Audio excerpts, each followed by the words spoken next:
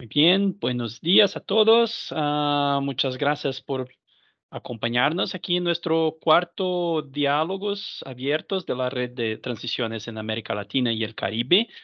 Esta es una iniciativa que hemos tomado este año para intentar uh, conversar más acerca de nuestras investigaciones y, comprender mejor lo que estamos uh, por, por, las transiciones que estamos pasando específicamente aquí en América Latina.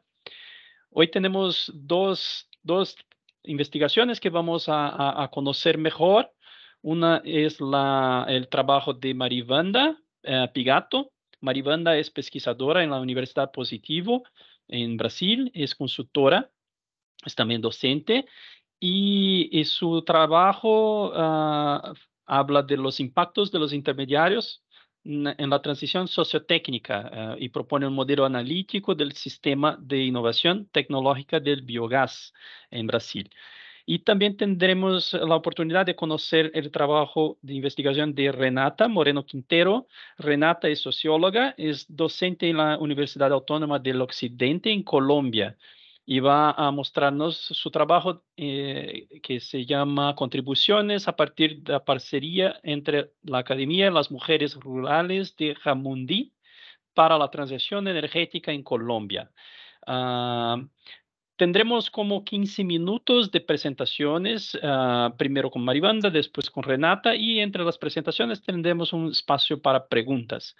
Así que es importante eh, uh, recordar que este espacio es justamente para, para discutirnos las investigaciones y conocernos. Eh, son trabajos eh, que están, se, se, uh, están siendo desarrollados, así que todas las contribuciones de ustedes serán, uh, son, son muy bienvenidas.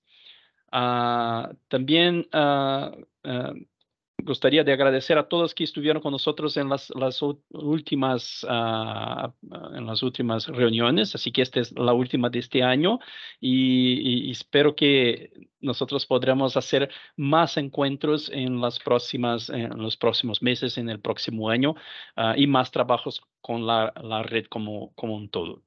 Así que le paso la palabra a Maribanda. Uh, para que nos, nos presente sus, su, su, trabajo. No sé si Diego quiere hablar algo.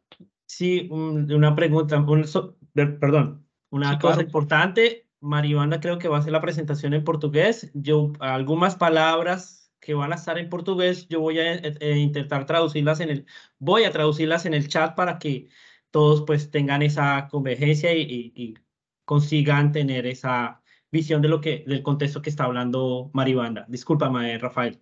No, perfecto, gracias, Diego. Pues Maribanda, uh, la palabra es, es tuya. Eh, buenos dias a todos. É, sou brasileira, né, então vou fazer minha apresentação em português, mas os slides estão em inglês, então pode ajudar também alguns. É, posso compartilhar, Rafael? E sim.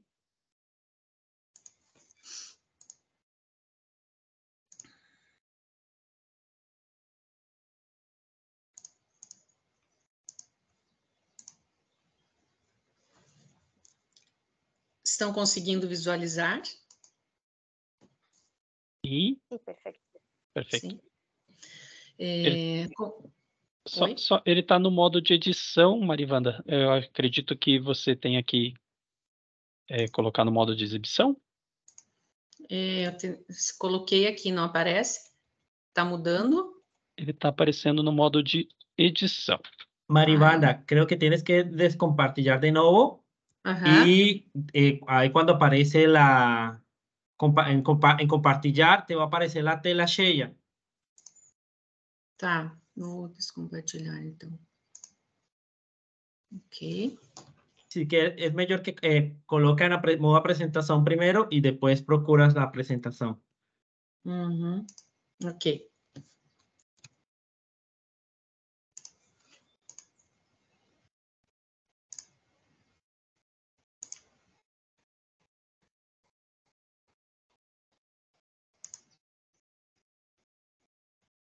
E a tela cheia aparece a tela nossa somente. Se, se que eu posso compartilhar aqui. Eu acho melhor. Uhum. porque eu não estou conseguindo com a tela cheia. Ah, ótimo.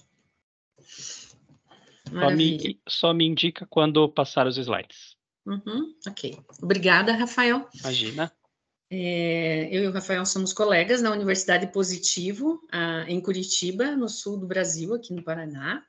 E nós temos como é, foco o estudo das transições sociotécnicas no nosso programa de mestrado e doutorado. É, eu vou apresentar para vocês hoje é, os meus estudos, a minha pesquisa relacionados a justamente aos impactos dos intermediários na transição sociotécnica, aonde eu proponho um modelo analítico para avaliar esses impactos é, no sistema de inovação tecnológica do biogás, é, estudando o caso do Paraná. É, as professoras Daniele Denis dos Santos e a doutora Sigline Kain da Cunha são as orientadoras né, desse, desse trabalho. Pode passar. É, todos nós estamos bastante é, já sabedores dos problemas que estamos enfrentando. Havíamos conversado no início dessa apresentação sobre a questão da, das mudanças climáticas, e de quanto é, isso está interferindo né, é, na sociedade atualmente.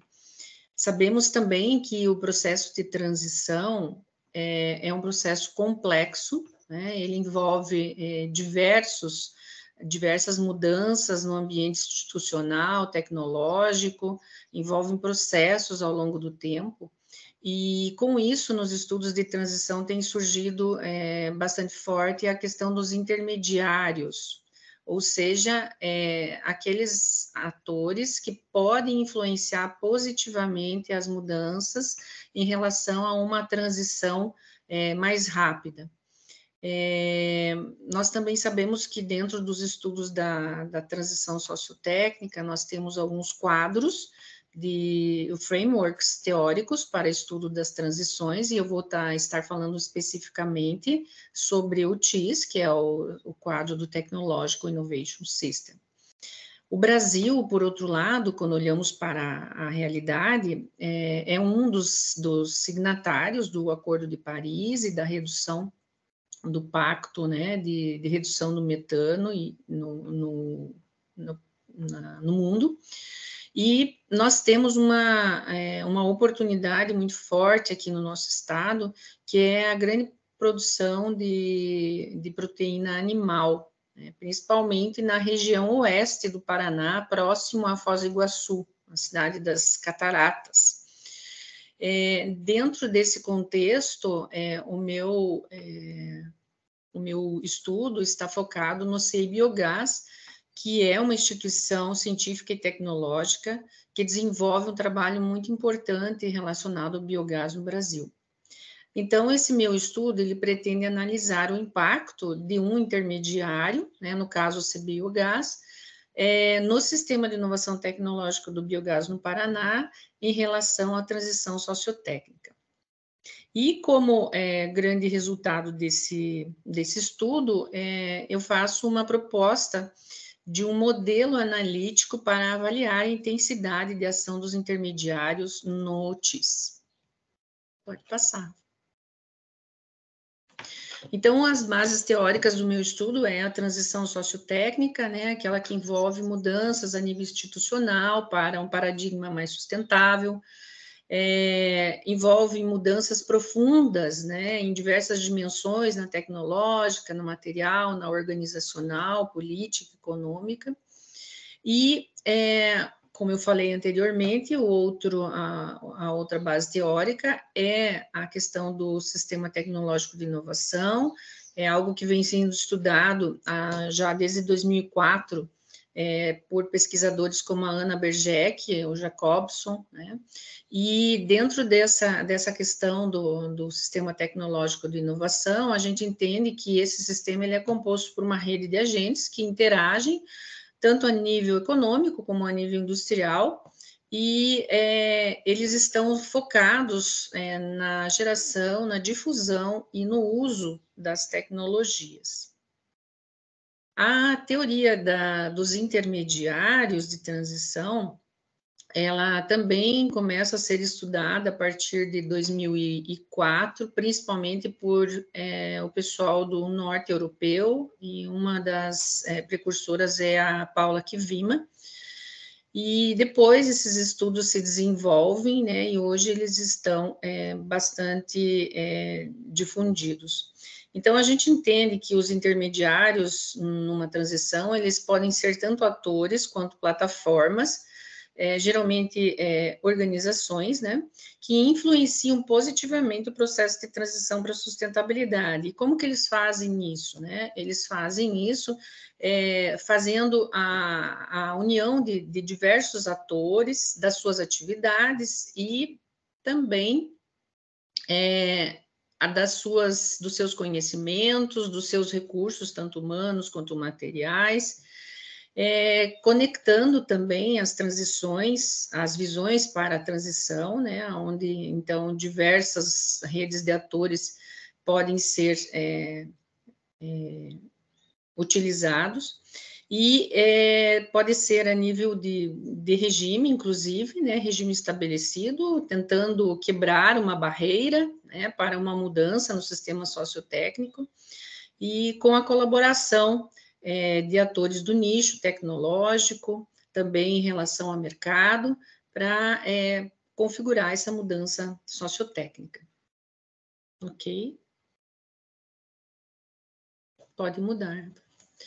Então, é, a, as funções do TIS, porque é, o Sistema Tecnológico de Informação, aqui como é, colocado como TIS, é, ele inicialmente estava muito focado na questão de é, identificar quem eram os atores, quem eram as redes, quem eram as instituições. E, é, posteriormente, percebeu-se a importância é, de analisar a dinâmica do setor, e aí foram desenvolvidas as funções do Sistema Tecnológico de Inovação, é, basicamente pela Bergec, pelo, pelo Marco Heckert, e eles se configuram em sete funções. Então, é, essas são as funções que foram é, utilizadas para é, junção com o papel dos intermediários é, para a construção desse estudo.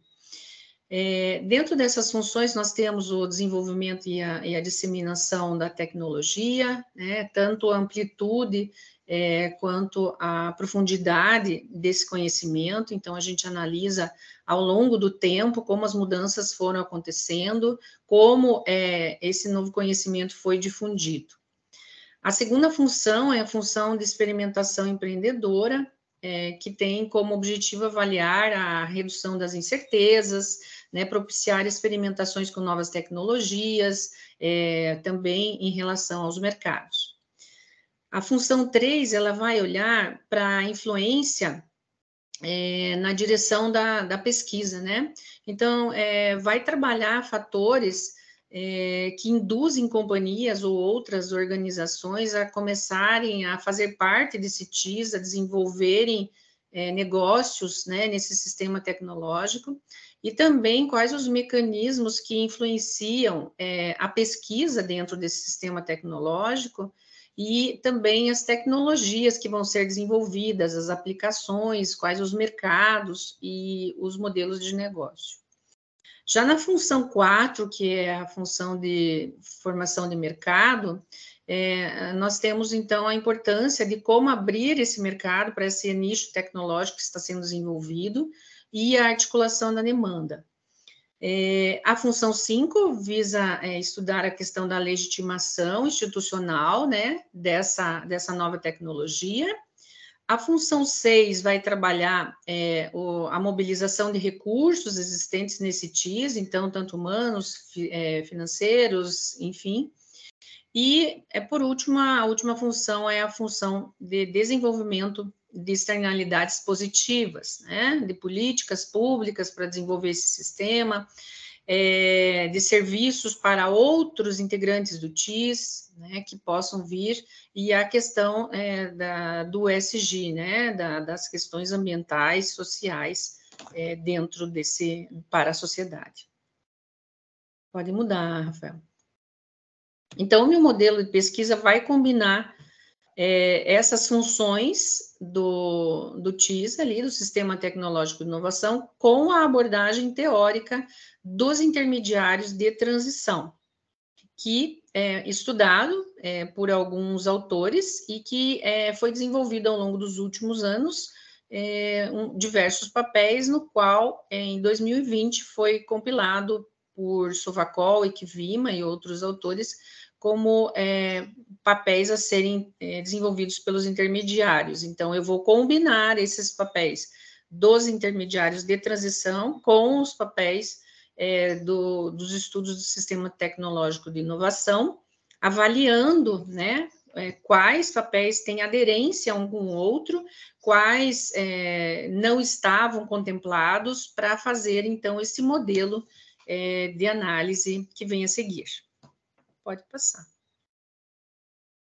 Então, essa é a proposta do modelo analítico para analisar a performance de intermediários, né? E aí, então, novamente, eu tenho as funções aqui no meu lado é, direito, né? as sete funções que nós apresentamos anteriormente, e a combinação aqui com as funções dos intermediários é, de transição, com base no, naquilo que os autores vinham estudando e na análise realizada para esse estudo, na qual foram, então, é, realizadas essas, é, essas aderências, e na, no estudo, é, essas esses papéis dos intermediários aqui, eles são as subcategorias analisadas uma por uma dentro é, de uma abordagem qualitativa. Então, vocês podem perceber que dentro da, da, da função 1, é, um, que é desenvolvimento e disseminação do conhecimento, a gente tem, por exemplo, a questão da transferência de tecnologia, a circulação, não só a criação, né, e o processo de geração de, de novas tecnologias, mas também da circulação do conhecimento, é, já na, na, na função 2 de experimentação empreendedora, nós temos tanto o processo de inovação quanto de testes e validações. Na função 3, a gente tem a questão da, do desenvolvimento das estratégias né, desse setor e do avanço em relação aos, aos objetivos de sustentabilidade. Pode avançar, Rafael. Na função é, da, da, formação de mercado, a gente tem diversos itens a serem analisados, como investimento em novos negócios, a prototipagem, é, a conexão entre novas tecnologias e novos usuários. Na função 5, é, a questão, por exemplo, da, de legitimação da, dessa mudança institucional, a, acreditação e a padronização de modelos, né, também são importantes. Pode passar. É, na função 6, a, a, facilitação e a criação de novas redes que vai impactar num sistema de inovação tecnológica, a questão de, de é, brokers é, tecnológicos, mais financeiros também, que vão dar suporte a esse setor. E na função 7, é, diversas outras possibilidades, né, como, por exemplo, a geração de tecnologias complementares e também de, de fornecedores especializados nesse setor. Pode passar. Como foi feito esse estudo? Então, em, em 2020, tive a oportunidade de participar é, como pesquisadora na UCI Biogás, fiquei até 2021 lá e participei muito forte do, das pesquisas qualitativas do CI Biogás, em relação a um projeto importantíssimo que está sendo desenvolvido no Brasil desde 2018, que é o GEF Biogás Brasil, com a Unido, né, e aonde, é, junto com diversos parceiros, é, ministérios brasileiros, como Ciência e Tecnologia, Agricultura e outros, o CI, CI Biogás é o executor. É, nós fizemos 75 entrevistas na época, com é, 62 horas de gravação. Este, essa primeira parte das entrevistas, ela serviu para eu poder é, tirar uma fotografia né, desse setor e analisar é, como efetivamente estava se desenvolvendo o biogás. Na sequência, para o estudo, é, para esse estudo especificamente, eu desenvolvi mais 27 entrevistas também é, em profundidade. Essas entrevistas elas foram realizadas é, com é, diversos atores deste sistema, desde produtores rurais envolvidos na produção do biogás, até é, os é, representantes de organizações, fornecedores é, e também da indústria, além, é claro, de representantes dos ministérios e agências brasileiras e também é, representantes da, do projeto GEF Biogás Brasil é, do exterior. Pode passar? Então, esta é a proposta para é, avaliar a intensidade, porque eu senti muita falta de, de, avaliar essa intensidade nos estudos que eu encontrei. É, como, que, como que você chega é, num, a definir que, que algo é forte, é fraco, é médio. Então, eu criei uma, uma, um, uma escala, que está aqui à minha direita, de degraus de intensidade, é, usando a, a questão dos quartis, e aí, com isso, eu consegui determinar, então, é, categoria, aliás, subcategoria, cada subcategoria daquelas participantes de cada uma das sete funções. Então, foram avaliadas individualmente cada categoria dessas, para medir a intensidade de cada uma em relação à sua contribuição para é, o desenvolvimento né, desse sistema e a participação, o impacto do intermediário CI Biogás nesta, é, nesse sistema tecnológico, ok? Pode passar. O CI Biogás é uma entidade que foi criada em 2012, já na, na Rio Mais 20, ele é um, foi criado com um protocolo assinado, inclusive, pela ONU, e pela Itaipu, que é a nossa, é, Itaipu é a usina é, em Foz do Iguaçu binacional. Em 2013 foi efetivamente criado, então, o, o CBiogás, e até 2019 a Itaipu alocou é, muitos recursos, na ordem de 25 milhões de reais, é, para o desenvolvimento do biogás no Brasil. Além disso, é, em 2018, o GF também alocou né, no desenvolvimento da, do setor a nível de sul do país, três estados, é, em torno de 65 milhões de dólares nesse projeto, onde o CI Biogás é o executor.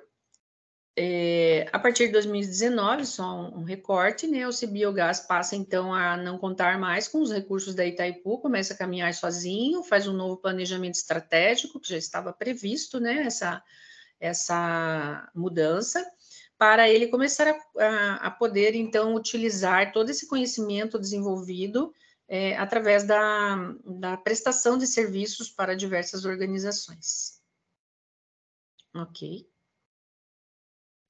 Aquelas primeiras 75 entrevistas que eu participei junto com a equipe do CI Biogás é, foram analisadas aqui para esse estudo, no sentido de entender, naquele momento, qual era a, a visão né, desses participantes a nível nacional e internacional em relação à atuação do CI Biogás.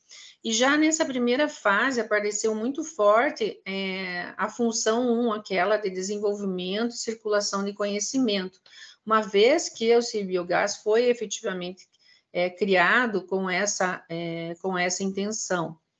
Também apareceu forte a questão da legitimação da, do mercado e da tecnologia, e quando perguntávamos sobre quais seriam é, as, os desafios para o CI Biogás nos próximos 10 anos, novamente aparece a questão do desenvolvimento da do, e difusão do conhecimento, além também é, do desenvolvimento do mercado, outra situação extremamente importante para é, a aplicação dessa tecnologia.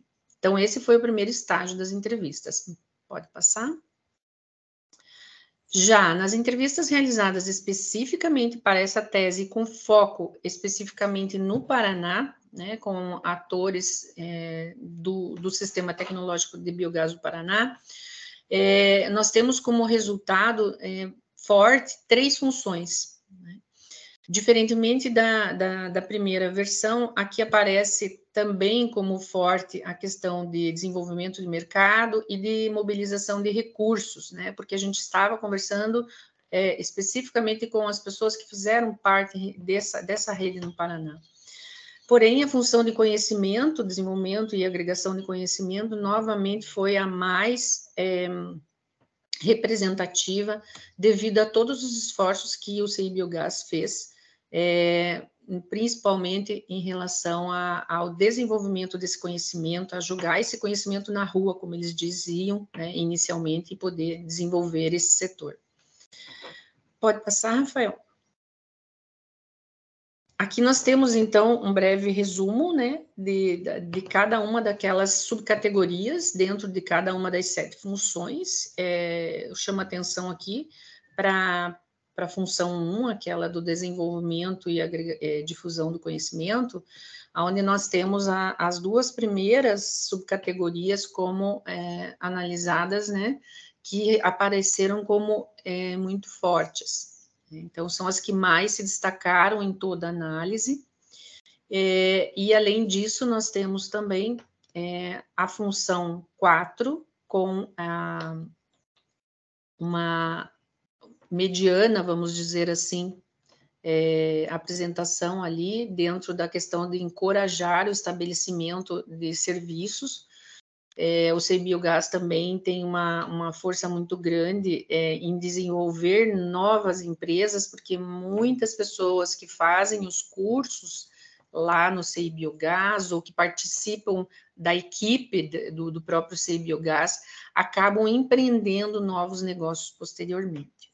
E outra coisa que apareceu muito forte, como eu disse, é a questão da mobilização de recursos, porque o CEI Biogás fez muito este papel de buscar parcerias com organismos de crédito, como cooperativas de crédito, como é, instituições financeiras, BNDES, Banco do Brasil, para tentar atender esses novos empreendedores ou, enfim, os agricultores que já estavam é, iniciando o desenvolvimento do biogás. Então, eles fizeram também esse papel muito forte. Então, em resumo, é realmente a função é, de desenvolvimento e criação e desenvolvimento de, de, de, novos conhecimentos e a função de formação de mercado e de, é, de mobilização de recursos foram as que é, se apresentaram com maior força dentro desse estudo. Pode passar, Rafael. Concluindo, então, é, nós podemos perceber com o estudo que o CBiogás ele atuou não somente dentro do nicho tecnológico, mas ele operou muito de, entre é, atores do nicho e do regime estabelecido, promovendo e estimulando as mudanças né, a nível institucional, e agregando novos atores, criando é, novas redes, instituições. Ele também foi responsável, pelo, por exemplo, pela criação da, da Abiogás, que é a Associação Brasileira de Biogás no Brasil, é, foi um dos fundadores, né? É, e contribuiu muito para o desenvolvimento da, do conhecimento e da formação é, do sistema tecnológico de inovação no, no Paraná e a nível de Brasil também.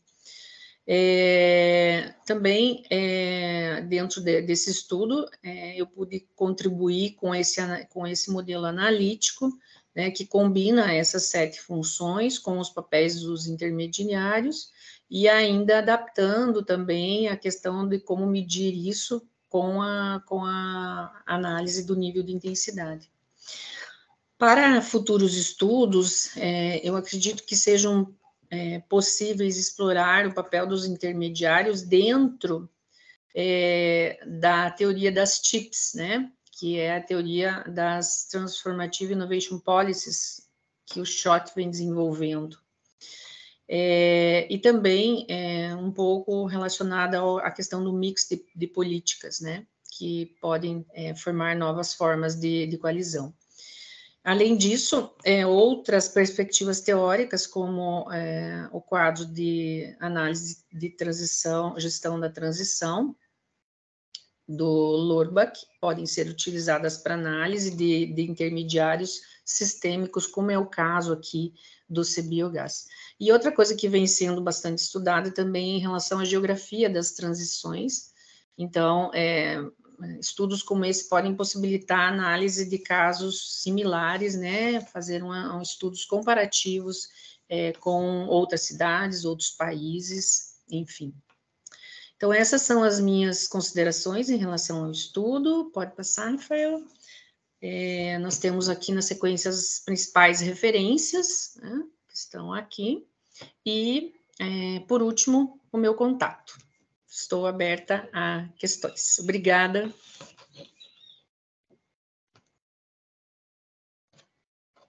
Muito obrigado, Marivanda. Muchas gracias. Uh, uh, espero que todos uh, hayan comprendido. Diego estuvo ayudando nosotros con algunas palabras allí en, en el chat.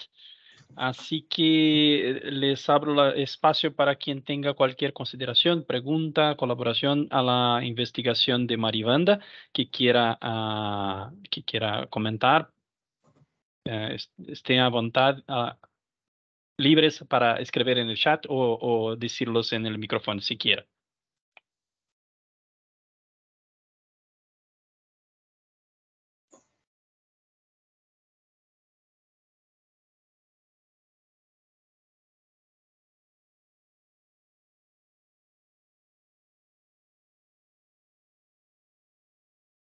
Creo que, profesora Mónica, si quieres.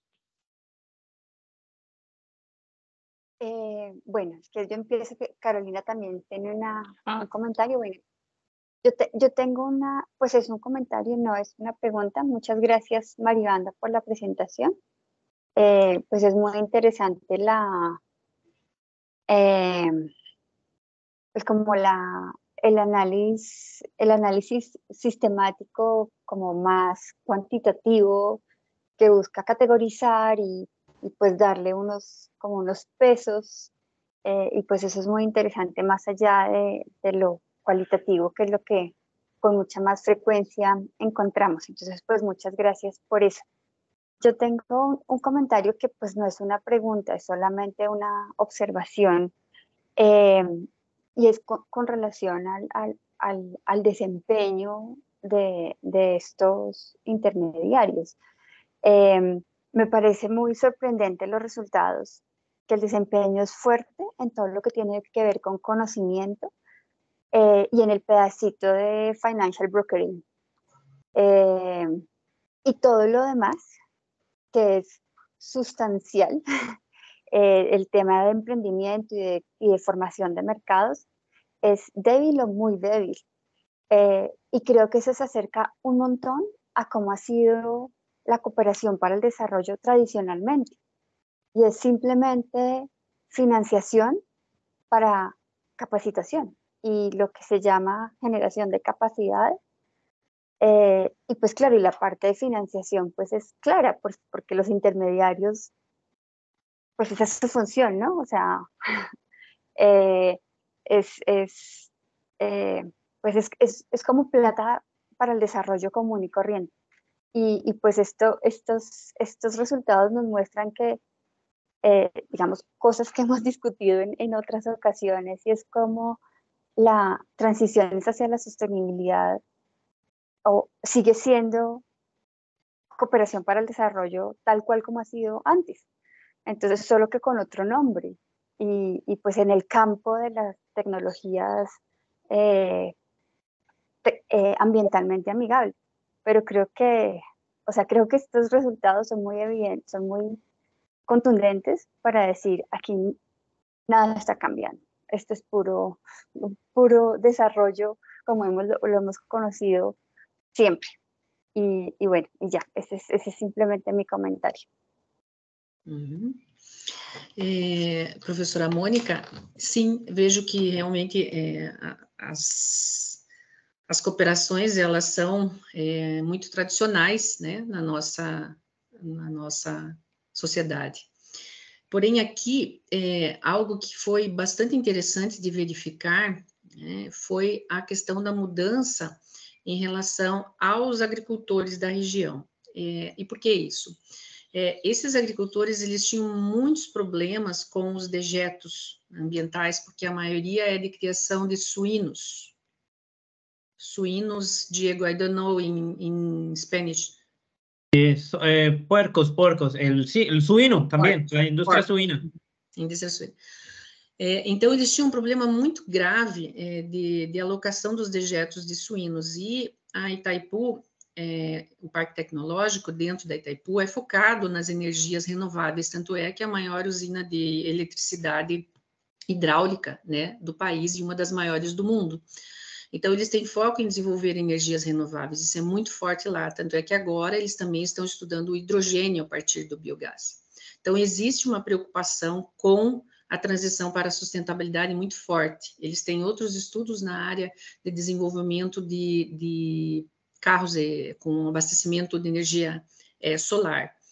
Então, realmente há uma preocupação em relação à, à sustentabilidade, eu verifiquei isso muito forte, né, dentro de, de tudo que eu conheci e de, de todas as pessoas que, que eu conversei e mudanças até simples, e, mas que para o agricultor fizeram muita diferença, como, por exemplo, é, a questão do, do olor, né, do cheiro da, da, daquele depósito de materiais, daqueles dejetos que haviam ali, da quantidade de insetos como moscas, mosquitos que rondavam a, a região, e do quanto eles se sentiram orgulhosos a partir do momento em que isso, é, com a tecnologia do biogás, eles puderam dar conta disso. Outra questão interessante é em relação a um dos projetos, que foram vários projetos ali dentro do Biogás, e talvez o mais interessante seja a reunião de 18 agricultores numa cidade chamada Entre Rios do Oeste, que é aonde o Cebiogás é, fez um projeto é, canalizando o biogás dessas 18 propriedades. Esse biogás ele vai até o centro da cidade, é uma cidade muito pequena, aonde tem uma central hidrelétrica que transforma esse biogás em eletricidade, e com essa eletricidade são abastecidos é, em torno de 50 prédios públicos do município. Então, gerando energia a partir do biogás dessas propriedades rurais, a, os prédios públicos da cidade são abastecidos. Então, existe uma preocupação bastante forte em relação à sustentabilidade. Talvez isso não tenha, não tenha tido tempo de falar. Creo que, gracias Mariana. Carolina tiene la mano levantada. Sí.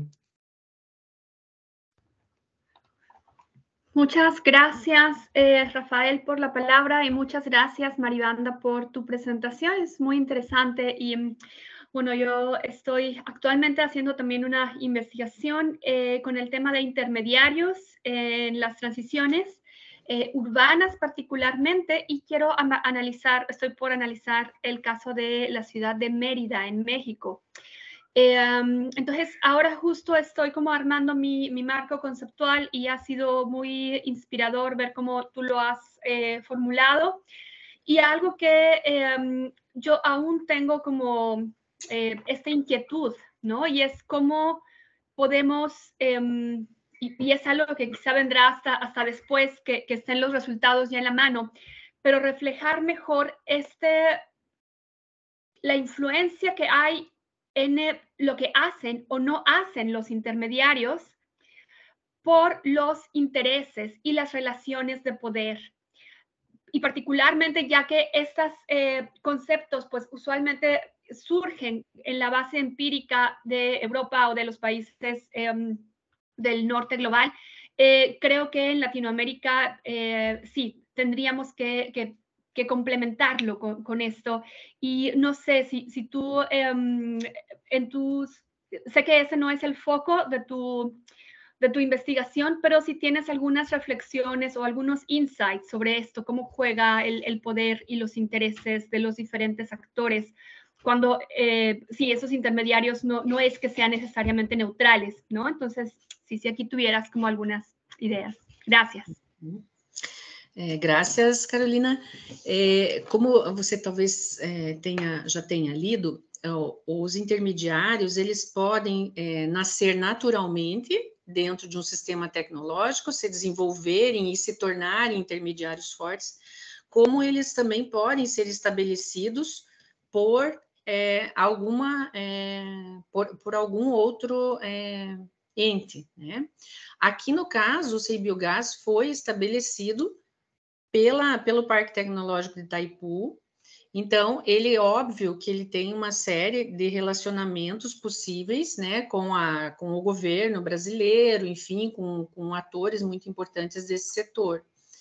É, mas é, é, óbvio que existem é, problemas de poder sempre, né, isso a gente tem, e o que eu verifiquei ali é que é, os agricultores reunidos em associação, como eles têm na associação, por exemplo, de Entre Rios do Oeste, é o caso, eles têm um peso muito forte dentro do CI Biogás, né? mesmo porque as primeiras unidades de demonstração da, do CI Biogás foram desenvolvidas em propriedades rurais. Então, eles né, estão trazendo esses agricultores para dentro. Quando a gente olha um pouco mais distante, é, olhando o mercado em si, aí é óbvio, a gente tem um jogo de poderes enorme, né? E aí nós temos a questão do próprio regime, né? Como quebrar, como que um nicho consegue avançar dentro desse, desse regime estabelecido.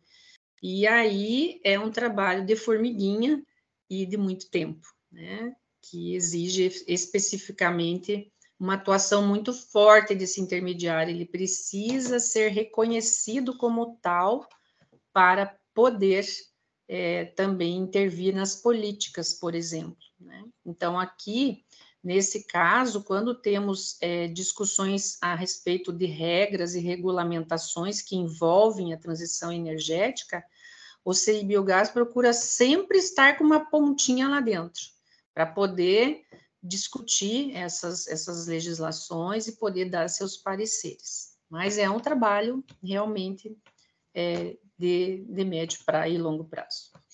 É o que eu, não sei se respondi sua pergunta, mas... Sí, muchas gracias. Eh, sí, me das como alguna luz de cómo es para, para el caso de, de ustedes. Gracias, Maribanda. Gracias. Uh, Maribanda, eh, Gabriela ha, ha, escrito una pregunta aquí en el chat que creo que está muy relacionada con esto que habías estabas eh, discutiendo con Carolina aquí. Es, es, sobre los intermediarios. Si has identificado en tu investigación diferentes categorías, cómo diferentes categorías de actores ejercen influencia en los procesos de transiciones y de qué forma los intereses distintos se congregan a, a, a dichar un, un, camino a ser seguido en en este proceso de transición. ¿Tienes, eh, ¿Quieres comentar algo? ¿Tienes algún insight acerca de eso? Uhum. É, eu acredito que, é, por exemplo, é, essa abertura do CI Biogás a partir de 2019 é, para estar mais presente no, no mercado vai fazer com que o, o mercado se desenvolva melhor, né? porque o foco inicial era o desenvolvimento de uma tecnologia que no Brasil teve problemas no passado. Nós tivemos no passado problemas sérios com essa tecnologia que não funcionou. Então, a partir da criação do CI Biogás, essa tecnologia foi é, desenvolvida e esse conhecimento passou a ser percebido como possível de ser implantado. E é, a, as pessoas que vêm a fazer parte dessa rede são muito entusiastas, né? em relação a isso. Então, nós temos pesquisadores, o CBiogás tem muito é, acordo com universidades, é, assim como ele é um centro de, de, pesquisa e tecnologia, ele também tem acordos com outros centros, e essa agregação de interesses vai fazendo com que dentro daquela função a que eu estudei, que é a direção de busca, a função 5, vai fazendo com que o setor possa começar a é, colocar as suas necessidades para o futuro. É, mas, como eu, como eu disse anteriormente, é realmente um trabalho é, que exige muita resiliência. Uhum. Pues muchas gracias, uh, Maribanda. Eh, muchas gracias a las contribuciones de todos también. Uh, podríamos estar aquí hablando más. Yo, yo mismo tengo algunas preguntas aquí a hacer a Maribanda, pero uh, en función del tiempo y, eh, para que podamos escuchar, escuchar, también la investigación de Renata, yo creo que le paso la palabra a Renata, así que eh, podemos conocer más de su investigación también. Muchas gracias, Maribanda, más una vez. Obrigada. Ay, ay, eh, hola, buenos días. Eh, mucho gusto. Mi nombre es Renata Moreno. Eh, yo soy docente en la Universidad Autónoma de Occidente en Cali, en Colombia. Estoy tratando de compartir pantalla. A ver, ¿ya me habilitaste? Uh, sí, es, a ver si. Renata dice, al lado donde dice Sair, el, el rojito dice compartillar, una flecha hacia arriba. No, sí, yo sé. Perdóname. Sí, me aparece, me manda en las cosas de privacidad, no sé qué. Ya. Si quieres, eh, no sé, Pues, me- Tú si quieres, envías la presentación, si quieres yo la puedo compartir. Ah, más, no tengo acceso. Caramba. Sí, porque no, no, no me está dejando, está muy raro. Dice que Ah. necesitamos permiso, no sé qué. No, no te deja. A ver. Ah, ya, ya, no, ya sé qué es. Espérate. Ya me está dando aquí, espérate. Ah, privacy. Lo siento. Sí, parece que es algo de mi computadora. No te preocupes, si quieres me la puedes enviar y ¿Tú la tienes? Yo te la envié. eh, te pedí acceso porque es que creo que Ah, ok. Aunque le había hecho unos cambiecitos. Espérate, intento una cosita aquí. Eh, aquí en seguridad, espérate un momentico. Mm. Security. Ay, ay, ay. Mm. Entonces, Sí, no, no me deja. Ah. Sí, está muy raro. Ya, ya te voy a dar la. mm, ¿No me ha llegado tu solicitud? eh, de Ah, un Gmail. Ya me llegó, ya me llegó. Ah, compartir. Listo. Ahora sí. Qué raro. No te preocupes, acontece.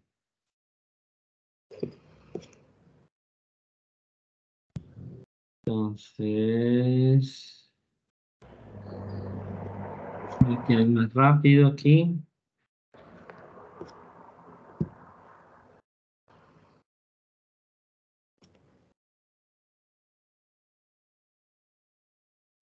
Bueno, Espérame aquí, la coloco en modo presentación. Ahora sí. bueno, gracias.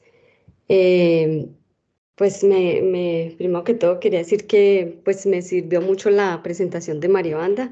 Ya van a ver por qué, porque eh, Colombia está también en, en la senda de explorar el tema del biogás para la transición energética. Eh, pero estamos mucho en, un nivel mucho más incipiente que Brasil, ¿no? Entonces aquí voy a hablar un poco, un poco de, de, de cómo vamos. Bueno, primero que todo, eh, ah, bueno, la, la, la, presentación se llama Aportes desde la Alianza entre la Academia de las Mujeres Rurales de Jamundía, la transición energética en Colombia. Es, quiero presentar simplemente algunas reflexiones de un proyecto que estamos, pues que tiene muchas más, muchos más componentes.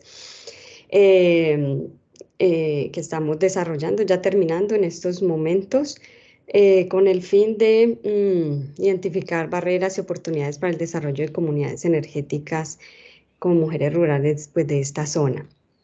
Y es un, una investigación interdisciplinaria. Eh, yo soy la socióloga del equipo, pero también trabajamos con ingenieros y comunicadores.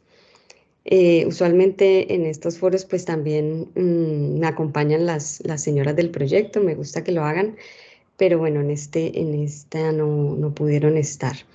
Eh, quisiera empezar dándoles algún contexto sobre eh, la transición energética en Colombia. Eh, puedes pasar al, otro slide, por favor, para que, no sé, los que no están familiarizados con, con, este país, pues sepan que pues, Colombia aparentemente tiene una matriz energética más o menos Mm, no tan cargada con los eh, combustibles fósiles.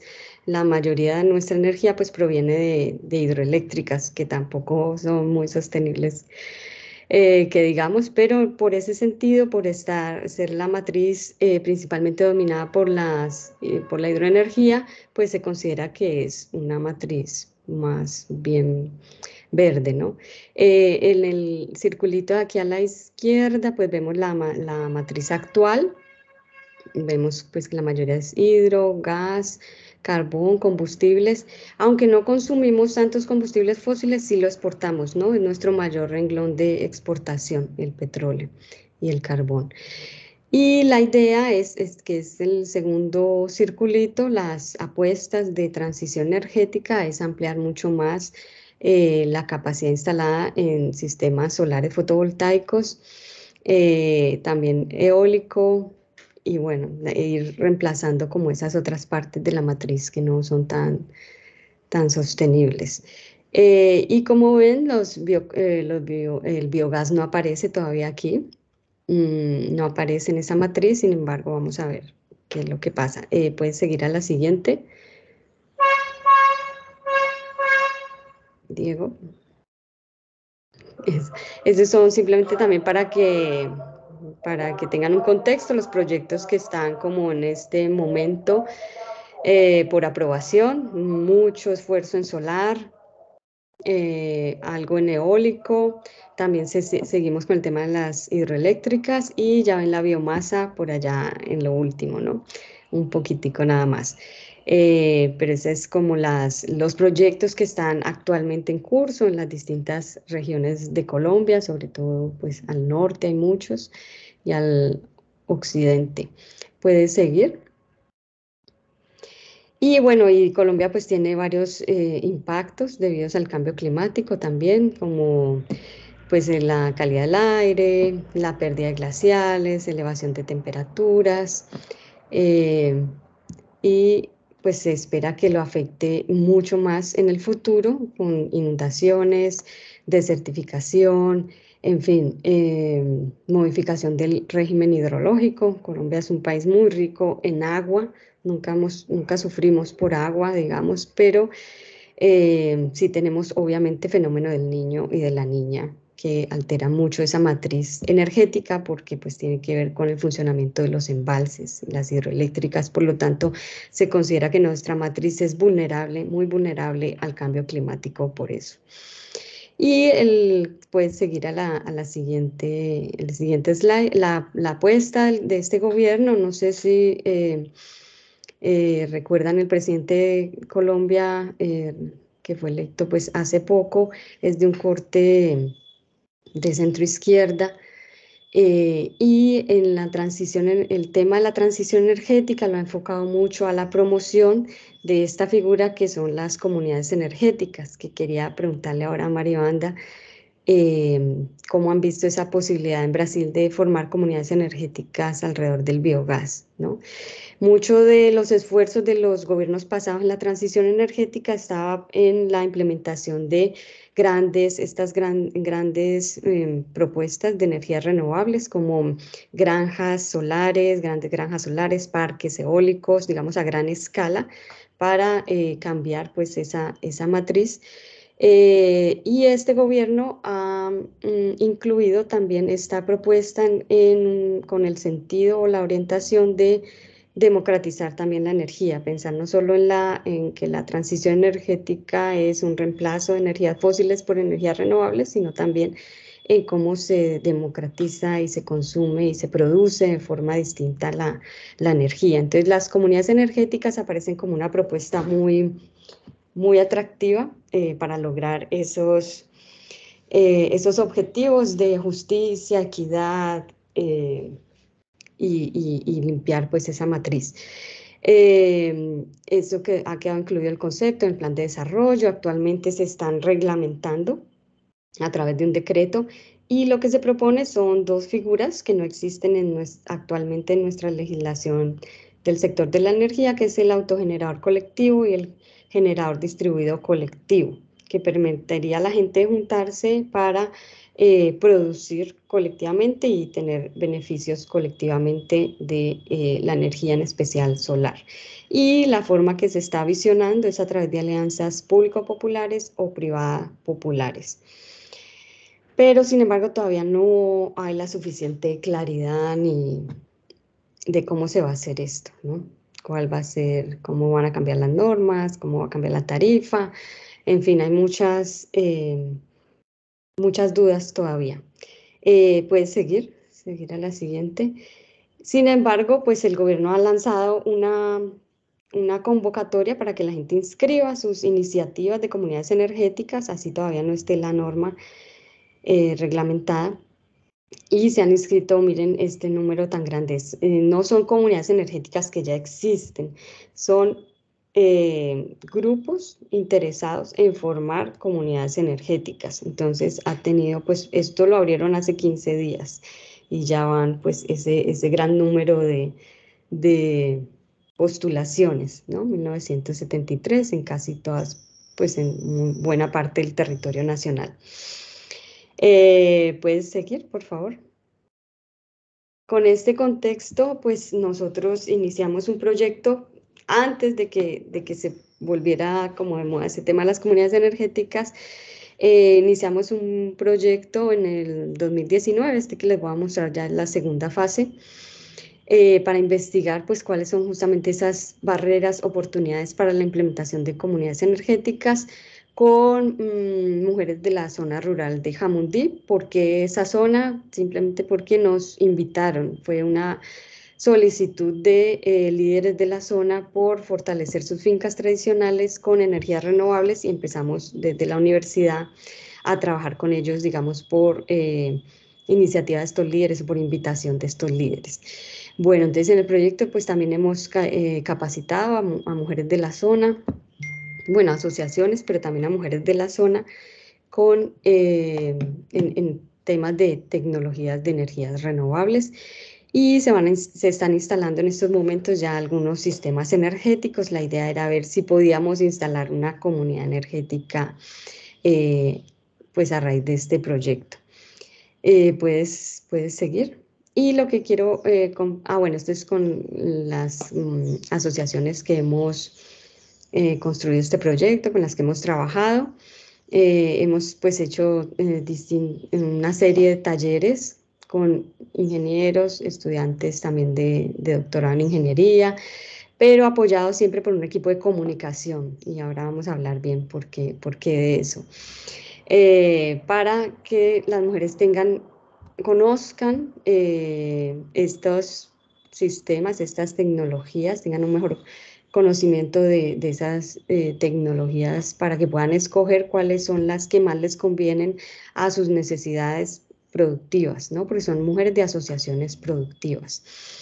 Eh, y, sobre todo también con el ánimo de intercambiar pues, conocimientos alrededor de la energía. Entendemos que las comunidades energéticas no es un tema solamente técnico de conocer, saber de tecnología, sino también de hacer, eh, de producir colectivamente la energía y fortalecer pues, los lazos comunitarios. Entonces, digamos, los talleres han tenido esos, esos, ese sentido de conocer mejor mm, la forma en que se usa la energía, las necesidades energéticas, eh, las visiones que tienen sobre la energía y la forma en que se trabaja colectivamente en el territorio. Puedes seguir si quieres. Eh, bueno, también con ese ánimo de, pues, de conocer mejor el contexto para, para, hacer un mejor proceso de apropiación de las tecnologías, pues ya hicimos una encuesta eh, que simplemente pues mostró, nos mostró varias cosas sobre la, el tipo de población con que íbamos a trabajar, ¿no? que es una población eh, que básicamente tiene unos niveles muy básicos de educación, eh, pero que muestra mucho interés por el tema de, las energías y de las comunidades energéticas. Eh, y, se dedica mucho, principalmente al trabajo en las fincas tradicionales. Las mujeres son las que todavía en esta zona, en su población afrodescendiente, todavía eh, son las que mantienen como esas, esa, esa tradición agrícola de la finca tradicional que es un sistema de policultivos eh, que se complementa con la pesca, bueno, con otras actividades, pero mm, han sido ellas como las encargadas de permanecer en el territorio y continuar pues con estas prácticas que son muy importantes también para la cultura de la zona. Pueden seguir. Esto es como pues cosas que hemos hecho. El trabajo en red, eh, hemos propiciado también la, creación de redes de promotoras de la energía con otras organizaciones que también están trabajando en estos temas y con las que pueden formar pares, ¿no? Para que no dependan solamente de la relación con los técnicos, con la universidad, sino puedan formar relaciones, pues, con pares de la zona, ¿no? Con otras organizaciones también, eh, redes de conocimiento, de experiencias, y fortalecimiento mutuo, ¿no? Entonces ha sido muy importante el trabajo que ya venían haciendo los indígenas de la zona. Tienen un trabajo muy adelantado en biodigestores, en deshidratadores solares, eh, y bueno, hemos tratado de propiciar esos, esos encuentros, esos intercambios y esa creación de redes. Sigue, por favor.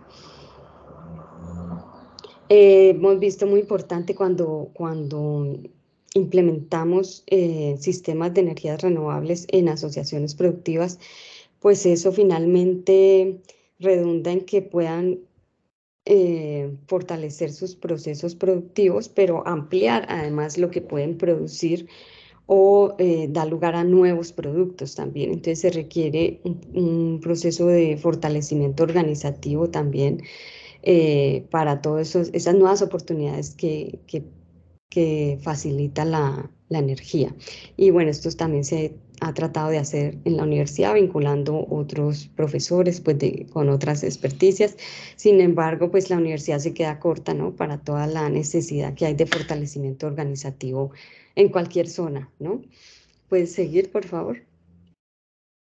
Y eh, digamos, después de estos talleres de capacitaciones, lo que hemos hecho es asesorías individuales a cada asociación para, eh, digamos, la perfilación mejor de sus proyectos, de los sistemas que necesitan, el dimensionamiento de estos sistemas y que puedan acoplarse eh, o ser realmente lo que, lo que necesitan, lo que van a usar, lo que pueden eh, trabajar con mayor comodidad en sus fincas, ¿no? No se les condicionó a que tenía que ser una sola tecnología, sino que se trabajaron distintas como estufas gasificadoras, estufas eficientes, eh, sistemas solares fotovoltaicos, eh, biodigestores, y ahí, digamos, a través de estas, estas capacitaciones, estas asesorías, ellas escogían pues qué era lo que querían implementar para fortalecer sus proyectos productivos.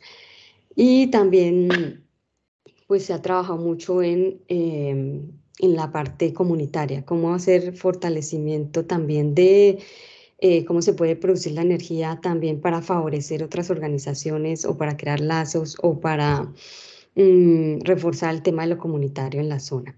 ¿Puedes seguir, por favor? Bueno, algunos resultados, pues eh, de los cálculos de necesidades energéticas, cálculo de los residuos que producen, diagramas de sus procesos productivos y cómo entra la energía ahí en cada fase del proceso es muy importante para entender ese, ese rol de la energía y cómo puede impulsar esos procesos productivos. Puede seguir. Y bueno, y finalmente también em, se ha trabajado mucho en que estos proyectos pues sean em, realmente apropiados por estas organizaciones y se les ha dado pues todo un, fortalecimiento en temas de presentación de propuestas, de, eh, digamos, presentación en público, diseño de proyectos para que también pues ellas puedan eh, buscar financiación en otras, en otras fuentes, en otras, por otras vías y y realmente que no sea algo que diseñamos nosotros para ellas, sino que sean las propuestas de ellas, ¿no? sus, iniciativas. Eh, ¿Puedes seguir? Por favor. Bueno, y los proyectos que están, hemos visto mucho potencial en, la zona con este tema de las energías renovables. Eh, no existía, en, la zona donde trabajamos mm, había muy poca presencia de energías renovables y vemos que hay mucho potencial. Eh, eh, tienen proyectos de tiendas comunitarias, de gallinas ponedoras, pues que necesitan energía para los bombillos, para las incubadoras. Todos los productos que producen estas fincas, eh, que producen estas fincas, eh, no los están transformando en estos momentos porque los costos de la energía son muy altos. Ya cuando van a poner bombas, a poner eh, máquinas transformadoras, pues los costos los hacen prohibitivos, ¿no? Entonces terminan simplemente vendiendo las, sus productos de la finca, pero sin ninguna transformación. Entonces hay un potencial muy grande para transformar todos estos productos que además tienen un, pues una ventaja que como es una población mujeres y afrodescendientes, pues tienen una sabiduría, por ejemplo, de las plantas, del uso de las plantas medicinales, eh, de muchas eh, cosas que se, se, encuentran en estas fincas que no se encuentran eh, fácilmente en cualquier mercado. Eh, y la transformación en, digamos, con valor, dándole valor agregado a estos productos, pues es muy interesante para fortalecer pues, su, autonomía territorial. Bueno, puedes seguir. Estos son algunos de los que estamos apoyando. Y, algunos, y ahora quería compartir, bueno, ese, fue ese es el proyecto, y ahora quería compartir un poco lo que hemos aprendido, ¿no? Lo que hemos, como las conclusiones de este proyecto, y es que vemos, a pesar de que eh, la, digamos, la apuesta de renovación de la matriz tecnológica de Colombia está muy centrada en lo solar, en lo eólico. Vemos un gran potencial en, en el biogás, en, la, en el aprovechamiento de la biomasa, sobre todo en las zonas rurales. Los paneles son supremamente taquilleros, decimos aquí, o sea, todo el mundo quiere, cuando le preguntan qué energía renovable quiere instalar o qué le gustaría tener, todo el mundo dice paneles porque es lo más fácil, es solo enchufarlo y ya.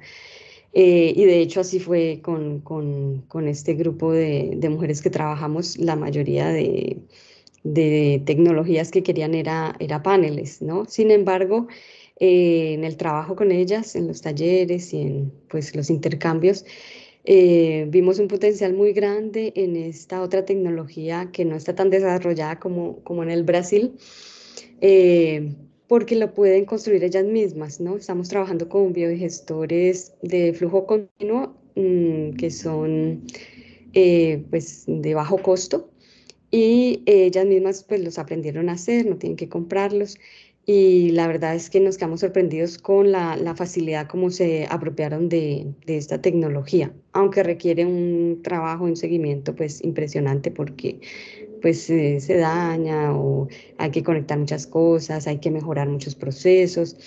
Eh, pero eh, tiene mucho potencial en, también en las zonas rurales, por lo que hablaba pues también Maribanda, que es que se puede aprovechar no solamente la energía, sino también el, el biol, que es como el, el, efluente del biogestor, del biogestor, pues que son fertilizantes, ¿no? que actualmente pues está muy caro en Colombia y está aumentando mucho los costos de la producción agrícola y es una forma pues de producirla de producirlo por las mismas personas, aprovechando los recursos locales.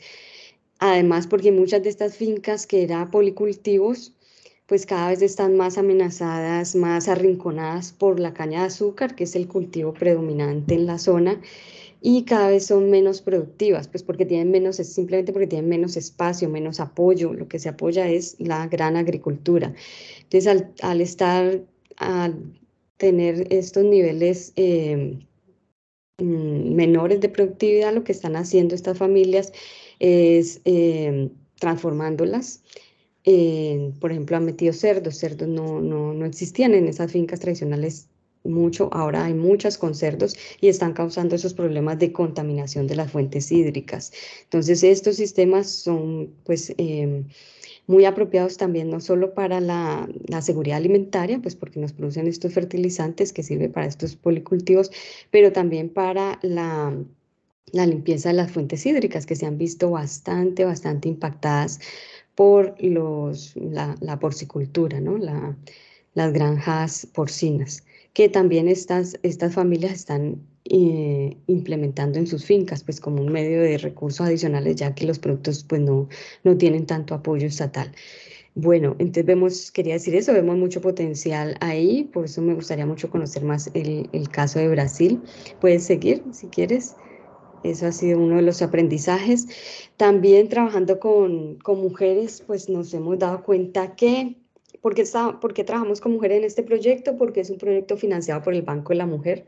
Entonces, digamos, de entrada, mm, eh, la, la, la financiación iba a asociaciones de mujeres pero nos hemos dado cuenta que trabajando con ellas es una forma de incluir a, pues a toda la familia, ¿no? Porque finalmente eh, empiezan a ayudar en, la construcción de todos estos sistemas, entonces empieza a ayudar el esposo, el hermano, el, eh, el hijo, los hijos, eh, entonces es una forma en que se van involucrando toda la, digamos, toda la población a partir del, del trabajo con ellas.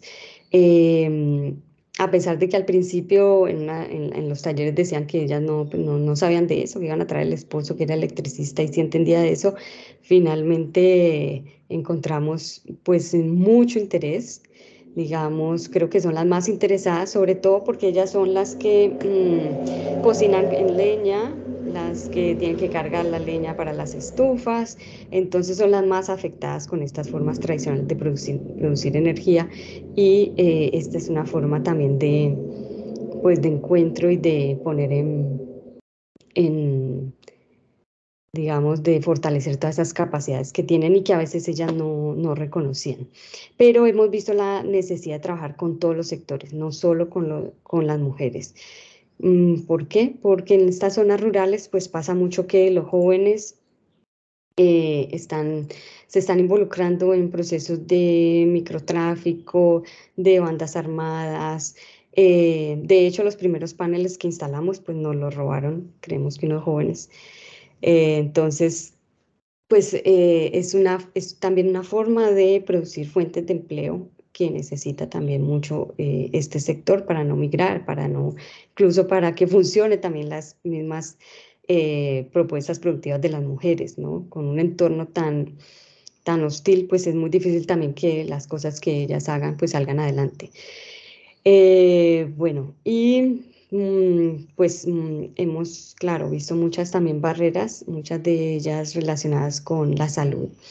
Muchas de estas mujeres por su exposición a, a, tener que trabajar con estos sistemas eh, tradicionales de energía como las, eh, las estufas de leña y todo esto pues tienen mm, bastantes enfermedades eh, y son las cuidadoras además.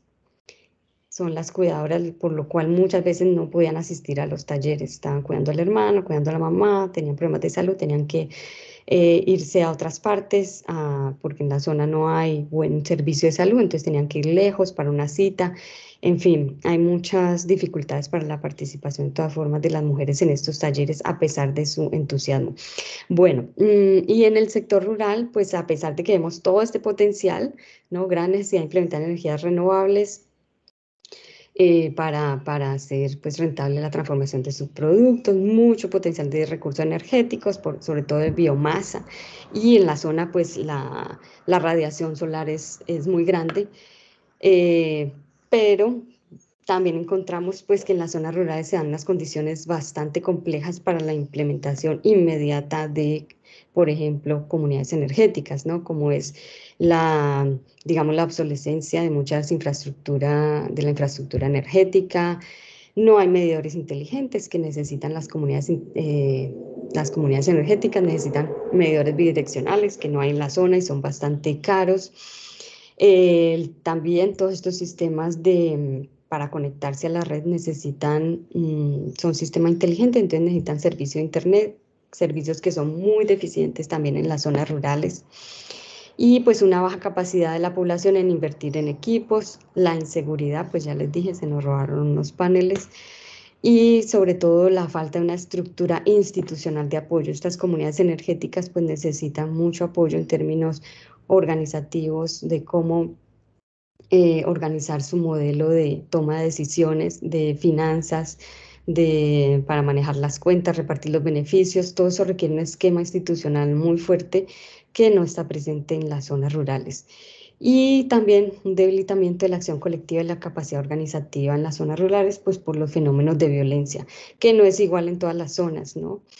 En comunidades como las que estamos trabajando, las eh, afrodescendientes, hay unas dinámicas mucho más individuales, menos colectivas. Sin embargo, en las indígenas, las campesinas, digamos, puede ser que se dé mejor esta iniciativa porque tienen unas lógicas de trabajo mucho más, más colectivas, con más énfasis en lo comunitario. ¿Puedes seguir? Bueno, y mm, ya para ir finalizando con el tema de comunidades energéticas, ha sido muy interesante en el país, eh, pues que se ha traído, mm, es el debate del último año, las comunidades energéticas, y ha sido un concepto bastante atacado por todos los lados. Es un, un concepto en una, eh, en una discusión muy álgida en estos momentos y está siendo atacado no solo por el sector privado, que pensamos que iba a ser su principal detractor, sino también por las organizaciones sociales eh, que han trabajado con, temas de autonomía energética o energías renovables, también lo, han, lo están atacando eh, bastante, bastante, han presentado bastantes críticas, concepto muy en disputa. Eh, sobre todo ahora que está en discusión la reglamentación. Entonces, algunos de los argumentos de las organizaciones sociales como Sensat, eh, la Red Biocol, la Asociación de Cabildos Indígenas del Norte del Cauca, eh, bueno, varias otras organizaciones, comunidades Z, es que este concepto no refleja, no, no reconoce esos esfuerzos que han hecho mucho, muchas comunidades en el país, no en esta zona que, que yo he estado trabajando, sino en otras, por em, alrededor de prácticas energéticas con energías renovables, ¿no? Hay eh, escuelas de técnicos comunitarios en otras eh, regiones del país y todo esto no lo está reconociendo este concepto de comunidades energéticas, es más bien un concepto que se ha traído de Europa y se está tratando como de, aplicar acá. Em, y ellos hablan más bien es de energías comunitarias, ¿no? Entonces quieren que se reconozca el término de energías comunitarias dentro de esa gran categoría de comunidades energéticas para que se apoye también esa, como esa labor histórica que ellos han hecho. Eh, también lo han atacado porque dicen que no se interesa pues justamente por la autonomía energética, eh, es un concepto pues que no abarca como la integralidad que, que busca eh, generar, que la energía sea para generar autonomía territorial, soberanía alimentaria, eh, pone a las comunidades simplemente como actores del mercado o como comerciantes de electricidad para que, o sea, las habilita solamente para que vendan excedentes y eso no es esa visión amplia, integral que, que ellos buscan. Y pues han, mm, están pidiendo mucha más flexibilización normativa para las organizaciones que ejecutan estos proyectos de energías comunitarias. Y bueno, desde el sector privado pues también ha sido un ataque bastante fuerte sobre todo con mucha preocupación por cuáles van a ser esos derechos de los nuevos actores en el sistema energético actual, cómo va a ser la gobernanza del nuevo esquema.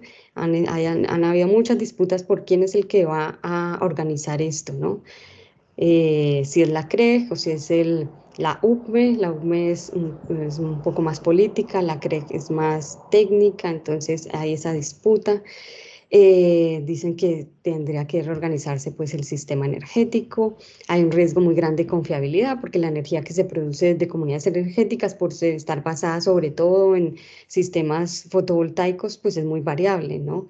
El sistema fotovoltaico no pues no tiene esa, tiene sus picos, tiene sus horas, no, no, no garantiza, es difícil que garantice esa confiabilidad, es lo que, lo que argumentan y porque implica pues un rediseño de la red de transmisión y digitalización en las empresas, que es un proceso pues que ven como complicado, engorroso, sin incentivos.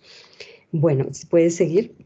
Y eh, quería, mm, ya, las comunidades energéticas, eh, eh, me ha parecido muy interesante que ha traído Sin embargo, a pesar de todos estos conflictos, yo creo que lo que está por detrás de estos conflictos es que ha traído como ese choque, no encuentro, un choque de, de dos mundos que antes permanecían muy aislados, porque el sector eléctrico siempre ha sido manejado en Colombia. El sector eléctrico en Colombia, pues es como en muchos países, un oligopolio.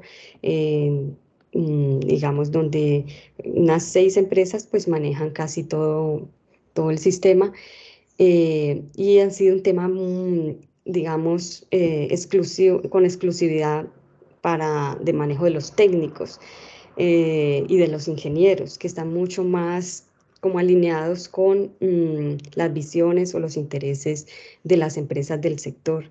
Entonces, al tener que hablar de comunidades energéticas, hemos tenido que... ¡Ay, ya se va! Dice que se va a acabar la reunión. No te oigo, Diego. Perdóname, pues, si puedes, eh, te quedan como cinco minutos, sería perfecto, ¿está? Ah, continuamos con la presentación, tranquila. Ah, ok, ok. Listo. Eh, sí, entonces lo que decía es que eh, ha traído la, la, discusión, o sea, la, el que se encuentren estos dos sectores, no solo en términos de especialistas, de profesionales, ¿no? Los ingenieros, entonces ahora tienen que trabajar con los sociólogos eh, y el sector eléctrico conocer un poco más de las comunidades y las comunidades a su vez conocer eh, del sector eléctrico para poder pensar en, esta, en estas figuras eh, comunitarias, ¿no? De producción y generación de energía. Eh, y eso es, ha sido un proceso muy, que me, ha parecido muy interesante porque ha mostrado cómo el ciudadano del común, pues por ese sistema tan centralizado que tenemos, que hemos tenido y tan de especialistas, pues eh, lo, lo, que ha terminado, lo que ha conseguido es que el ciudadano del común casi que no entienda nada de cómo funciona la energía, ¿no? La complejidad del sistema energético, pues es muy grande y el ciudadano del común no, digamos, no, no maneja esa, esa, esa complejidad. y eso está también atravesado por muchas desconfianzas mutuas que se han generado en esa, digamos, en esa convivencia distante que hemos tenido alrededor del tema de la energía, eh, donde hay mucha desconfianza por parte de las comunidades sobre las empresas, sobre eh, las empresas eléctricas, este tema de cómo se maneja la tarifa, eh, bueno, en fin, pues tengo varias anécdotas, pero no, por el tiempo no, no las voy a, a, contar. Y por parte de los técnicos también hay mucho mm, incapacidad de, de, de, ese diálogo con, con las necesidades eh, comunitarias, con otros valores, con otros discursos, con otras formas de ver el mundo. Digamos que ha sido muy palpable, muy evidente en este proyecto, pues por, por la interdisciplinariedad. Bueno, eh, si quieres sigue. Y eh, finalizando, pues el rol de la academia, entonces, ah, es muy importante en la transición energética y sobre todo en este tema de comunidades energéticas, pues para capacitar en temas de energía las poblaciones rurales, crear esos entornos de confianza, equidad, inclusión, eh, también para facilitar esas redes de conocimiento, articular la oferta institucional, ¿no? Hemos servido para traer, digamos, organizaciones que no estaban ahí, como por ejemplo el SENA, que es el Servicio Nacional de Aprendizaje Técnico, para que entre a, la zona, a la Secretaría de Agricultura. Bueno, estas asociaciones necesitan fortalecimiento productivo, eh, venga aquí también a trabajar en esto.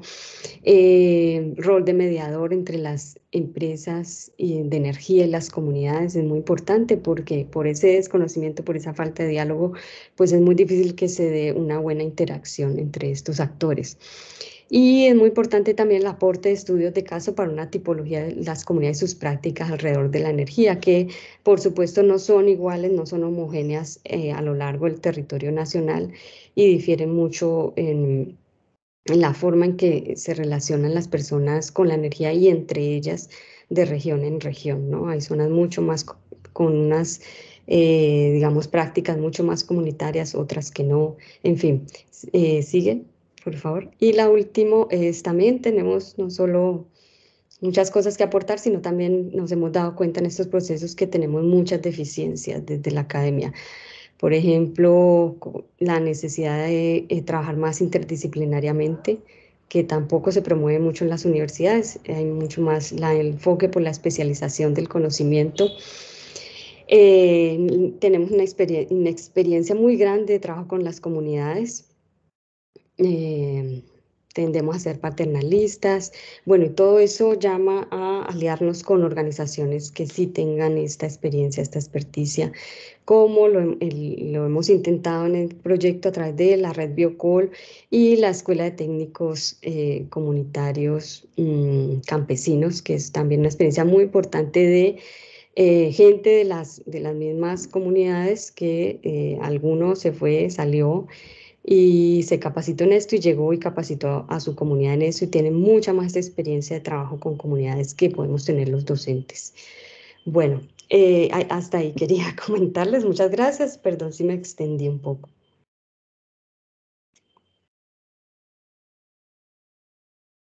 No, Renata, eh, está muy, muchas gracias por la presentación. Es un proyecto muy, muy lindo que nos, nos presenta aquí. Así que eh, yo creo que ya, ya estamos a la, a, la, a la, hora, pero podemos avanzar algunos minutitos si, si todos pueden y así si alguien tiene cualquier pregunta o alguna, algún comentario acerca del proyecto de Renata, pues siéntanse libres a escribir en el, en el chat o entonces a, a llamar al micrófono. Uh, mientras Ah, las personas escriben algo aquí. Tenemos aquí eh, algunos links interesantes que Miguel y que Maribanda han, han ponido en el chat. Ah, todos pueden eh, verlo ahí. David, ¿tú quieres hablar primero? Después puedo ir yo. Mm. Sí, ah, gracias, Diego. se me escucha, ¿verdad? Sí. Listo. bueno, muchas gracias a Maribán y Renata por sus participaciones muy interesantes las dos. Uh, Renata, quería consultarte justo cuando hablabas de, cuando vi el tema que, que, que has presentado hoy, se me vino a la mente un, un, paper del 2013 que habla de geografías de, de transiciones energéticas que, pues para variar, se enfoca bastante en, en el contexto uh, del norte global. Eh, y, y en, ese, en ese paper hablan mencionan el tema de la topofilia, el, amor por el lugar, que surge como un factor, eh, algo como una barrera para las transiciones, porque mucha gente en las zonas rurales, en el norte global, ven el, el paisaje rural como intocable, como su refugio fuera de la ciudad. Eh, entonces, mientras escuchaba tu presentación, se me vino a la mente hasta qué punto este amor por el lugar, es diferente en, las zonas rurales y en vez de ser una barrera, es en realidad un, un facilitador para estas transiciones sostenibles. Ya, sí, mira que es algo que en lo que he estado pensando mucho, que me ha hecho pensar mucho este proyecto, porque cuando llegamos a la zona, eh, es una zona de fincas tradicionales, ¿no? que es una práctica agroecológica, histórica, tradicional de comunidades afrodescendientes, sobre todo en ese territorio. Y como académicos llegamos con una visión muy idealizada, ¿no? Entonces ellos no usan agroquímicos y eh, el amor por la tierra y tenemos una, una, una cosa bastante sesgada, eh, diría yo. Y lo que estamos viendo es que si es muy bonito el concepto de, finca tradicional, ellos lo intentaron mantener así, o sea, solo los cultivos, polivalente, em, eh, técnicas agroecológicas, todo esto, pero es que cuando la caña te aprisiona tanto, esos sistemas empiezan a, perder productividad, es, irremediable. Eh, y con el, además con el cambio climático, entonces los suelos cada vez están más secos, eh, los periodos de sequía, lluvia cambian mucho, o sea, no, no es fácil mantener la productividad cuando estás, cuando tu espacio vital se vuelve tan pequeño, ¿no? Entonces, una forma, encontramos que realmente una forma de resistencia en la zona no es conservar la finca tal cual como en el pasado, ¿sí? Eh, digamos prístina y pura, en su forma pura, sino que una forma de, de resistir, de seguir en el territorio, es eh, volver esa finca productiva. ¿sí? permitir que esa finca les permanezca, les permita vivir de ella, ¿sí? Y una de esas formas es eh, a través del el uso de energías renovables.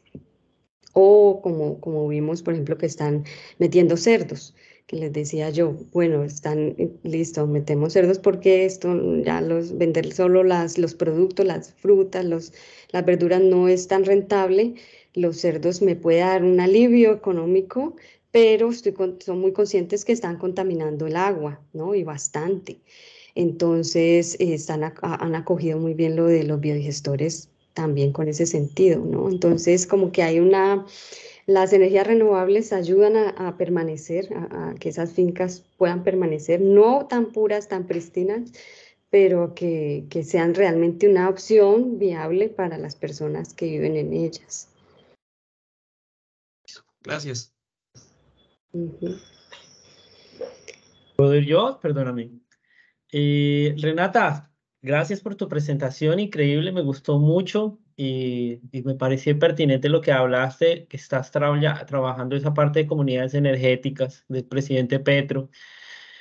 Él es muy de comunidad participativa y creo que por esa eh, la agenda de él quiere envoltar, enfocarse mucho a ese tipo de proyectos y yo quería preguntarle, ¿los esquemas asociativos territoriales están eh, trabajando dentro de, dentro de esa parte del proyecto? Eh, están, ¿Están siendo actores dentro de, de, de, ese tipo de comunidades? ¿Están envolviendo?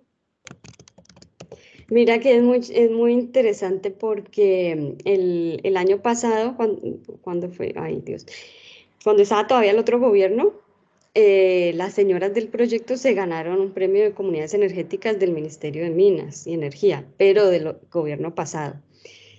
El, cuando llega este gobierno, eh, como que empieza desde cero, ¿no? Entonces nos sorprendió que no hablaran de este tema y ya le habían dado un, premio a estas señoras con las que trabajamos y no las tuvieron en cuenta para nada.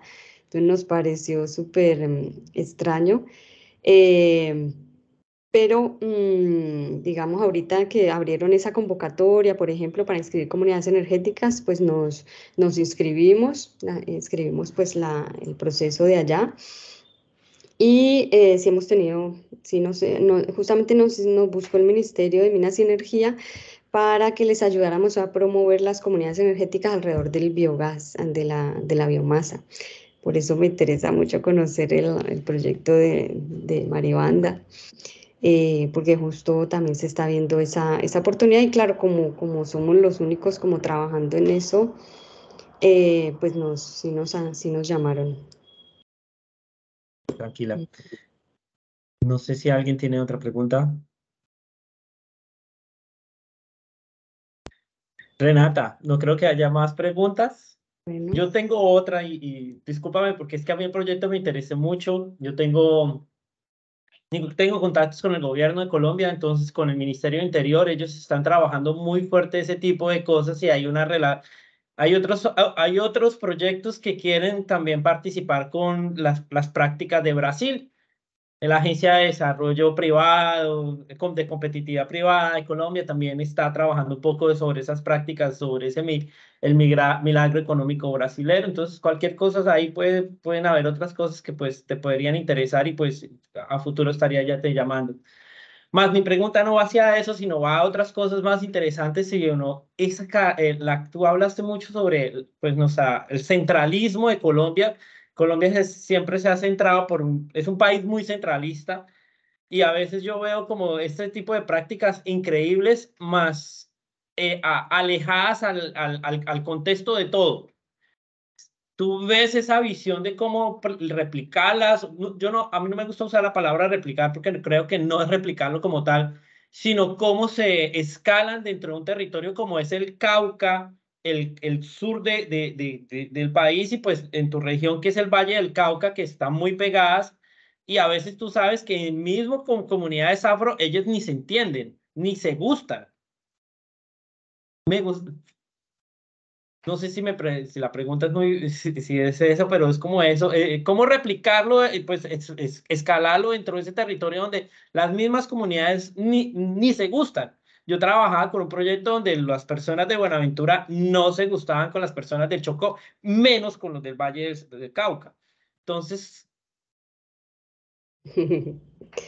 Eh, bueno, sí, de, pues hay esa... Mm, de hecho, hay esa, esa mm, premisa o esa, no sé, esa visión de que eh, con comunidades afrodescendientes, eh, más que todo funciona en los proyectos familiares en el país. Como que los proyectos colectivos casi siempre eh, fracasan o tienen problemas. Hay mucho, hay mucho esa, he oído mucho esa, como ese argumento. Mm, sin embargo, pues es que sí, son lógicas eh, muy diferentes por ejemplo, en las comunidades indígenas, eh, claro, es una lógica mucho más colectiva, pues por su tenencia colectiva de la tierra, por, bueno, por toda la historia que han tenido. De hecho, eh, fuimos a visitar algunos proyectos de esas comunidades alrededor de, la, de las energías renovables, son muy interesantes y, y están pues funcionando bien. Y sobre todo lo vemos muy fuerte en, en zonas campesinas de Santander ¿Por qué? Porque hay la presencia de, una fundación que se llama la Fundación UTA, que lleva muchos años trabajando en ese tema, impulsándolo desde el territorio. Tampoco no es que van desde Bucaramanga a las zonas rurales, no, es que ellos viven en Guapotá, ¿sí? Y son campesinos aunque la señora, por ejemplo, es, em, estudió su PhD en Suiza, bueno, eh, pero ella fue a ir al campo y, es la zona, Santander es el departamento con más biodigestores en todo el país, pero es por ese trabajo continuo, juicioso de, de esa fundación que ha formado la red Biocol, de la cual ahora somos parte también. Eh, y ellos nos han estado asesorando mucho. Mm, y digamos, es que es un proceso muy de largo plazo también, ¿no? Sí. Eh, hemos tenido unos procesos en las zonas rurales de mucha desintegración por, la, por los fenómenos de violencia, por los fenómenos de migración, de empobrecimiento económico. Entonces, pues pedirle a la gente que, que, que trabaje junta y que sí, que lo haga pues de la, de la forma, de una forma perfecta, pues es un proceso largo y hay, hay comunidades donde eso, eso, es más fácil ¿no? de lograr, pero no creo que sea algo que no se pueda lograr, solo que verlo como de largo plazo. Tranquilo, tranquilo. Hay otra pregunta, ya como para finalizar. Gabriela, ¿tú la quieres leer o...? ¿No? Mm, no, puede, hablar. Eh. No te preocupes. Gabriela está preguntando, tiene, eh, pues nosotros estudiamos transiciones, Gabriela mi colega, eh, dice, las comunidades de energías renovables parecen dar un fuerte, fuerte impulso a la generación distribuida. ¿Crees que políticamente hay fuerza para que estas comunidades creen y gestionen de forma autónoma energía limpia a costos ventajosos? O pues sí, costo, eh, a, buenos, a, un costo económico para que aumente su importancia dentro del sistema energético? Sí, lo que pasa es que, por ejemplo, en el proyecto no, finalmente no pudimos establecer la comunidad energética justamente por, por eso, porque por un lado no está la reglamentación, lista de comunidades energéticas que permitan la autogeneración colectiva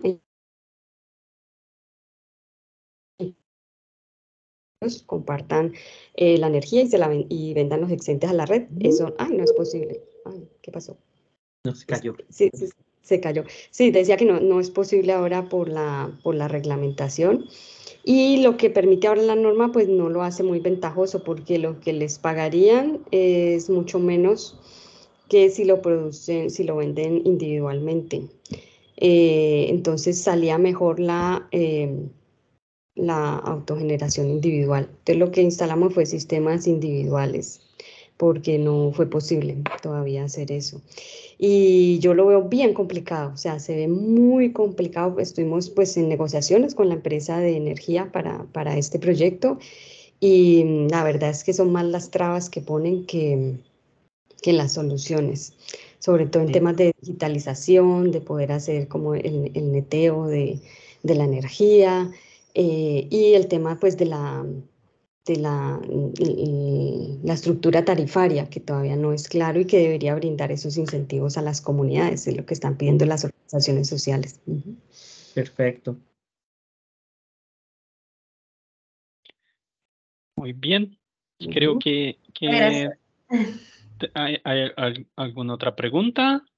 Eh, por ahí me compartieron un, un link de eh, Pluriversa, Miguel, muchas gracias, lo usaré. Ajá, gracias, se muy interesante. Yo también trabajo con Arturo Escobar en otro proyecto de transiciones, seguro va por ahí la cosa. Eh, y el de Maribanda también lo revisaré, muchas gracias. Pues ah, por lo de tiempo, porque también podríamos eh, eh, hablar más aquí, me interesó mucho tu trabajo también, Renata. Ah, yo he trabajado con desarrollo de comunidades también. Eh, espero poder conocer mejor el trabajo que han, han desarrollado ahí con las, las, ah, las comunidades energéticas. Pues muchas gracias a todos que han participado. Diego, muchas gracias por la organización. Profesora Mónica, por toda la ayuda. Ah, a ver, Gabriela, ¿quieres comentar algo? Ah, sí, un, comentario ah, rápido. Es, que eh, quería agradecer a, Renata, a Marivanda también por la presentación.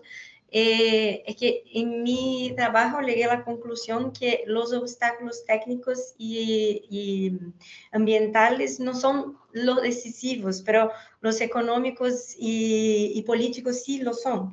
Por eso uh, le pregunté si era más o menos lo mismo para ti. Y agradezco la, la presentación. Gracias. Gracias, Gabriela. Pues eh, aquí cerramos nuestros diálogos del año de 2023. Ah, seguro que vamos a tener otras oportunidades de, conocer nuestras, nuestras investigaciones aquí en América Latina, uh, todas nuestras peculiaridades. Así se dice, Diego. Perfecto.